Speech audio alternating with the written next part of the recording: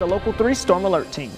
I'm sure a lot of you watching the show this morning either know someone or perhaps you yourself are suffering from arthritis. While we often think about that perhaps affecting your shoulders or your uh, hips, it often affects individual parts of your hand. And this morning, we're going to talk with Dr. Robert Masty from the Center for Sports Medicine. Specifically, the topic is your thumb and arthritis in your thumb. So, so nice to talk to you this morning.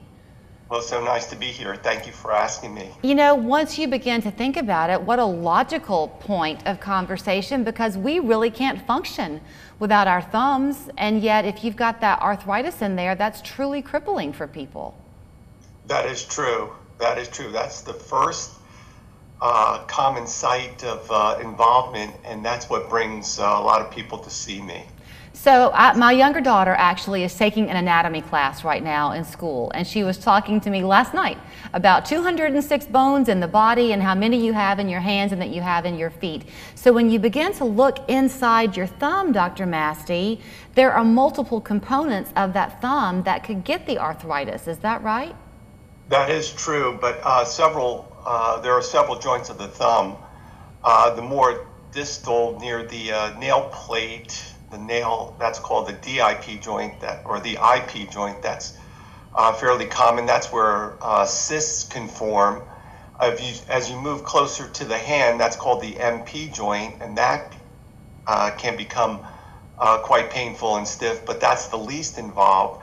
Probably the most involved uh, and painful thumb uh, joint is the CMC joint, and that's at the base of the thumb. And does that tend to be the more common area where people have problems? That's the one that that's the one that uh, causes most problems, and they come and see me for that.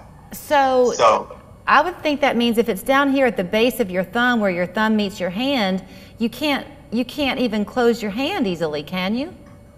Well, uh, right. Uh, what happens is over time, just pinching and grabbing objects become a problem. And uh, first, it's mild. It's only noted with uh, opening up a, a, a, pickle jar, or something heavy. But over time, it becomes uh, more painful, even at rest. Uh, and that's that's a problem, and um, and that's why it affects people uh, tremendously. Okay, so do you do you fix it necessarily like with a topical cream? Do you wear a brace? Is surgery the required treatment? How do you handle that? So we first start off with some simple measures. There's over-the-counter drugs. We have uh, non-steroidals if you can take that. You can also take some um, uh, acetaminophen, Tylenol. Uh, just simple things. Yes, there's over uh, over-the-counter creams such as Voltaren gel. Uh, actually, a recent uh, article came out talking about CBD oil um, topically applied may be beneficial and in and in uh, parts of Europe and in Canada, a CBD THC um, has been used, uh, but I'm not necessarily recommending that. That's not um, that's not legal here in the U.S. The THC, so that's off the table. Although I think you can. Um, there are some people who uh, try to get that. Um, but uh, the simple things such as um, as uh, bracing and mm-hmm. um, and avoiding uh, strenuous activities. That's the mainstay. Uh, most people can get by with that, and if that doesn't work, then we can move over to uh, a little bit more invasive, such as a steroid injection. And although that is uh, a little discomfort in the beginning, it is uh, it can provide lots and lots of uh, months and up to years of relief. So let me ask you something. We have like a minute and a half left. So if those steps that we've discussed, the bracing and the steroid injection, if those still prove to not work, is surgery ever something that you turn to? Yes. Uh, after failing all those, we do turn to surgery, and that is one of the, my most uh, gratifying surgeries because the patient's uh, pain relief is very gratifying.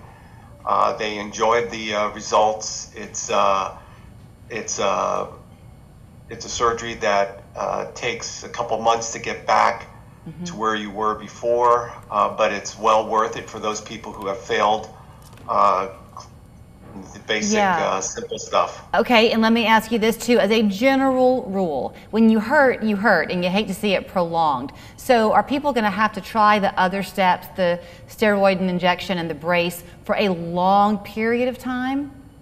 Well, uh, long enough to know that it's not working. Okay. That?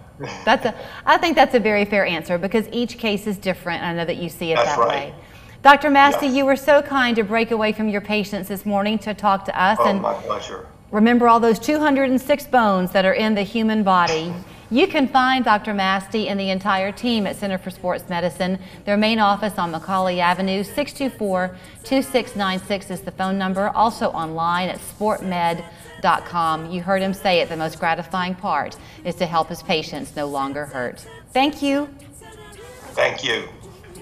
I think the importance of memory support programming is the ability to engage their brain in ongoing different ways to keep as many pathways